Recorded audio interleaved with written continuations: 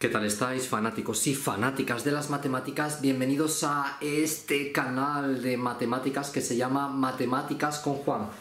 Voy a resolver ahora mismo una ecuación irracional, es decir, una ecuación en donde las x están dentro de una raíz. Y aquí está, eh, aquí está mi ecuación irracional, la que voy a resolver. Eh, raíz de x más 3 igual a 10. Bien.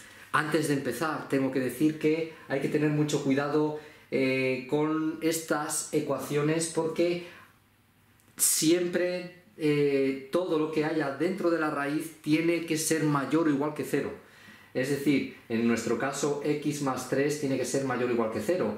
Esto es, la x tiene que ser mayor o igual que menos 3. Eh, si por ejemplo operamos esto y tenemos que una solución como x igual a menos 5, pues no sería solución, porque esto sería negativo en este caso. Bueno, vamos allá. Eh, el caso es que eh, para eliminar la raíz, el método que se usa es elevar al cuadrado.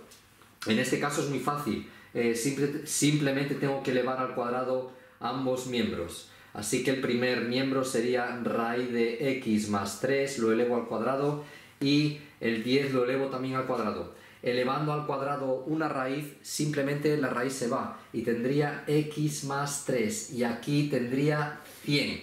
Esta ecuación de primer grado es muy fácil. Eh, si no sabes resolver ecuaciones fáciles de primer grado, ¡alto!